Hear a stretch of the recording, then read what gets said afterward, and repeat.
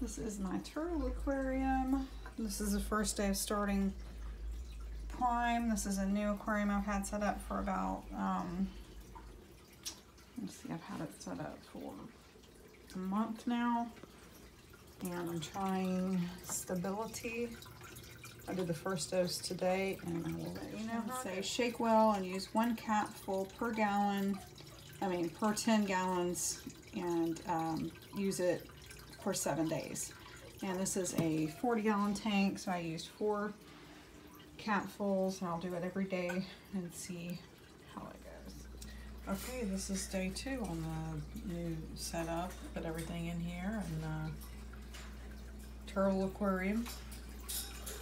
Prime stability.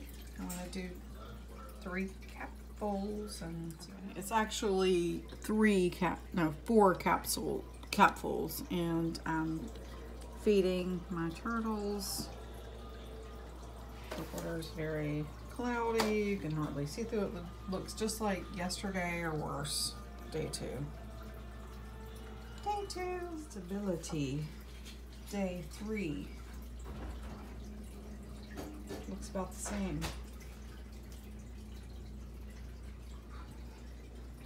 I just fed them, so that's the reason kind of stuff floating around.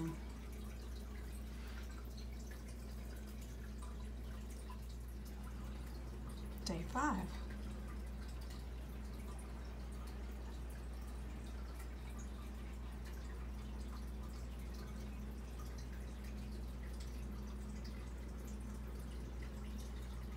Here's my turtle at. He's kicking up stuff too. Day six. Day six, I think I see improvement. In my opinion, it still kind of yellow, but I, I really do think I see a lot of improvement today. So I can't wait to see how it's gonna look tomorrow. I'll just put the food in there. Okay, this is day seven with stability and it looks almost perfect. So I'm very impressed. Um, this is a review on the stability. I would recommend it to get your aquarium up and being cycled. Boom pals out. Like, subscribe, comment, and share.